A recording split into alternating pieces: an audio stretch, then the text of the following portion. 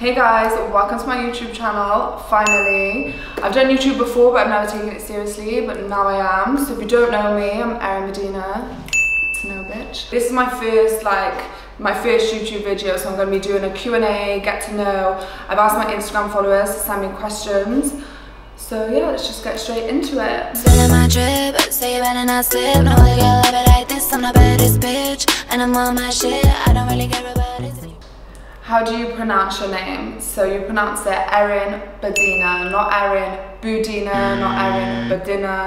It's Erin Badina. When and why did you move to London? So I moved to London about four and a half, five years ago because previously I was living in Wales, which is boring, countryside, nothing to do, just not me. And then I spent like a year in Miami, LA, living my best life then obviously I can't live there. So when I kept coming back to Wales, I was like depressed and I thought, you know what? London is the next best place. So I literally had like a hundred pounds and I drove up in my little mini and I was like, see what happens in London. And now here I am, a few years later, it worked out. Take a risk. What are your handbag essentials? Let's have a look. Okay, so Always have a parking ticket, at least one. Passport because like I'm always traveling last minute. One earring because you know how it gets girls.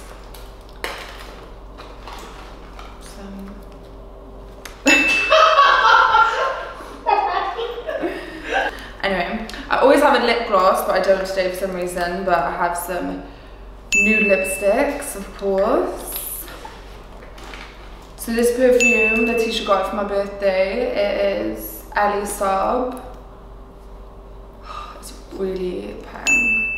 Bubble. I call it a bubble, but I'm not sure if that's like a Welsh thing. Is that a Welsh thing? Or you call it bubble? Hair tie. Hair tie. And some shmoney and some emergency lashes. That is my handbag essential, guys. What's your favourite and least favourite part about being an influencer? Okay, so favorite part is obviously like money and free shit.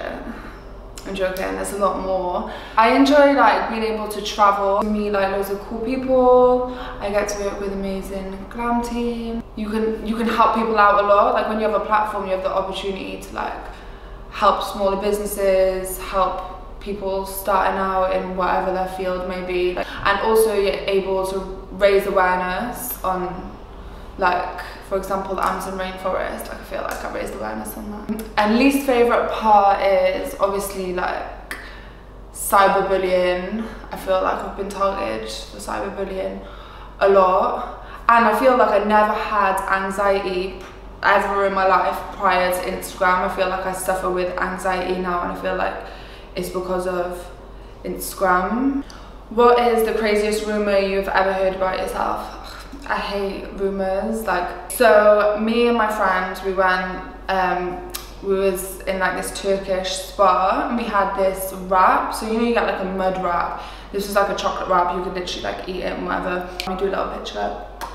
And I posted it on my Instagram. This was about six years ago probably. I posted on my Instagram. Obviously like my pictures from six years ago and no longer on my Instagram. A couple years after this picture got like reposted on like a blog and they cropped my friend out so it's just me like and there's this big story saying that um, it was human poo and like like for some reason people pooed on me and they paid me to poo on me or whatever. And I posted a bit I don't know like it's bizarre. It's like weird even to say like who would make that and who would believe it. Okay favorite city is probably Paris or London what cosmetic surgery have you had done? Okay, so I've had my lips done, and then I had BBL, and they took the fat from my arms, my back, love handles, and my face, and then they put it in my hips to make it like more hourglass. How did you blow up on Insta? I get this question all the time. So my Instagram journey started because, right, really I've just been very like extra. Do you know what I mean? I was just just annoying, whatever, I don't know, that's when I was younger. So when Instagram came, I, I got a few thousand followers straight away. And then I started going to Miami, doing music videos, I was dancing, like I was just being a Thotiana, to be honest with you, I was being ratch. Yeah, I just built following that way. I was in Saint Tropez and I posted a mirror picture in the mirror and it banged. So this picture that banged, it just had a knock-on effect that all my pictures started like banging and then I just got loads of followers. I think I've got like 40,000 followers in like like this two week period. And then from there, do you have a middle name? Oh, my middle name is so embarrassing, like I don't even know why my mum would do this to me. My middle name is Bridget. I am Bridget Budina Beach. Do you miss living in Wales? I don't miss living in Wales because I love I, I, love being in Wales. I love going back to Wales. Like I'm obsessed with my dogs. Like my mum has like six dogs. It's just different. It's quiet, countryside. The water's fresh. Like the air's fresh. I love it. But living there so boring but I go there all the time. You bring in So Lash back 100%. I don't know why I've left it so long. I've been like trying to rebrand it and I'm bringing new products I've been looking for the perfect formulas. I just want it to like, I want it to be so perfect. And when I started doing music I kind of like, I was just, I was just doing too much. I'm such a Leo whereas like I'll start something and I'll put 100% into it then someone else will come and I'll just run off with that. So um, that's a flaw of mine but yeah I am definitely in the process of doing So Lash again and I'd say by this Christmas I'll I'll have it back out so keep a lookout. Who is your celebrity crush? like literally no one like um I'm just not I just don't really feel anyone like Jennifer Lopez would you get more surgery? I kind of answered that, I think, I'm not sure, but the answer is probably no. Maybe when I have a baby, but for right now, no. How do you deal with negative comments? Is it hard? I feel like I've always been, like I've always had negative comments, even from before like Instagram, when I used to have Facebook. Because I always used to post when I was like 12, my little hot pants and stuff so I've always just like kind of attracted negativity. I just deal with it I'm just like whatever it's just like, if you don't like me like why would I care what you think? Does that make sense? But I've learned I used to always react. The more you react the more hate and negativity you, br you bring to yourself. So it's like if you just ignore it it doesn't exist in my reality. Like you can hate over there would you date a normal guy or only a guy in the public eye? I would definitely date a normal guy. Like I'm not into like guys in the public eye. I'm not into like guys like being in front of the camera, like all extra. Like it's not my vibe. But like a low key guy who just likes to be behind the scenes, make a lot of money. You know, so definitely a normal guy over a big guy any day of the week. Have you ever worked a normal job? Yeah, like literally, I've worked in retail, I've done waitressing, I worked in an old people's home. I used to work on a, on um, this one's embarrassing. I used to work on like a van making crepes. So I used to go to, um, oh, so cringe, but it's 12 pounds an hour and I was like 16, so um, yeah, I used to like make crepes. I remember this one time, so we used to do like old people food, food and wine festivals, so I'd be chilling, whatever, making a crepe. And then this one time he's like, yeah, we're going to this food and wine festival. Somewhere like in the valleys. And I got there and as I was driving in, no, so I was 17, I was driving in and like, there was just loads of young people, like drunk, like it was a massive vibe. I was like, oh my god, like this is really awkward.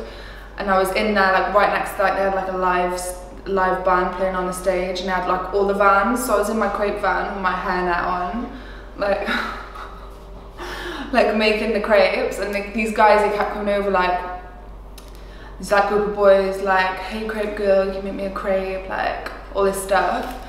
So embarrassing asking for my number and stuff. And then like two nights later I was out in Cardiff with all my friends. Like none of them knew about this job because obviously when you're young like it's embarrassing like to be on a van making crepes whatever. And I was in like this club and these group of guys are like crepe girl crepe girl. I was like oh god kill me now. Excuse me not beep. So yeah, I've worked many normal jobs. Are they taking a piss?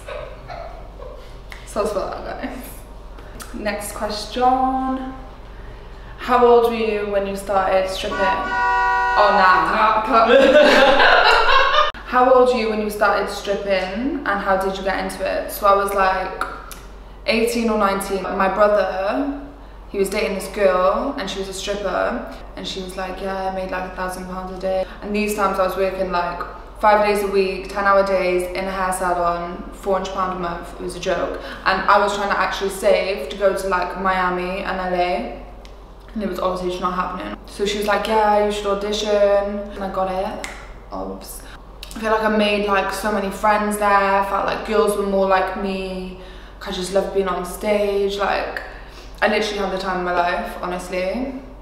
Like, if I didn't start dancing, like I could probably still be living in Wales. And I saved all my money. So glad for the strip club. Thank you. Changed my life. Do you have an alter ego? I've never really thought, oh, I have an alter ego, but like sometimes, do you know sometimes you just give a fake name to people because you can't be asked, like you don't need to know my real name. So I say Esmeralda and I create like this whole other person who I feel like I'm half Esmeralda because like I'm half bad bitch and I'm half like super emotional, like soft, like I don't know. So kind of have a alter ego, I guess. Okay guys, so that is it with your questions. I hope I answered most of them. Now we're gonna do some quick, fun, rapid fire questions. So yeah. Cute. Cute dolly. So, shoes or bags? Shoes. Gloss or lashes? Uh, gloss. Gotta be a gloss. Beach holiday or city break? Beach holiday. duh. One thing you couldn't live without? My phone. Dog or cat? Dog, obviously. Favourite TV show growing up? The Hells. Homeboy wore cowboy boots to the beach.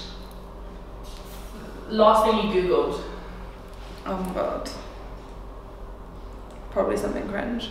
I did, it's the shrimp taco recipe. Coca-Cola or Pepsi? Coke. Love or money? Ah, money. No, I'm joking. I'm actually love. Drinks with one person, dead or alive? Elon Musk, I think. But yeah, Elon Musk. He's a cool guy. I would like to pick his brain. And why? Um, because he's like super clever and he's into like space and I feel like we have similar interests. And I just want to know he's building a colony on Mars and I just want that invite because I feel like the world's gonna end soon. Your dream car? Pink Lamborghini truck, bitch. Or a pink G-Wagon, but probably a Lamborghini truck. Burger King or McDonald's? MacD's. Milk or dark chocolate? I mean, well, dark chocolate in, in um, but taste-wise, milk chocolate. hey guys, so that's it for my questions today. I hope you enjoyed. If you did, make sure you give it a thumbs up and make sure you subscribe and comment below what other stuff you want to see on my channel and make sure you tune in for my content that I have coming up probably in the next week or two.